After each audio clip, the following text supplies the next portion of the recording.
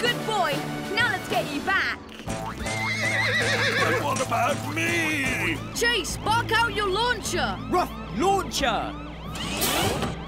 If you hit the motor with this magnet, the Bronco should stop. Giddy up!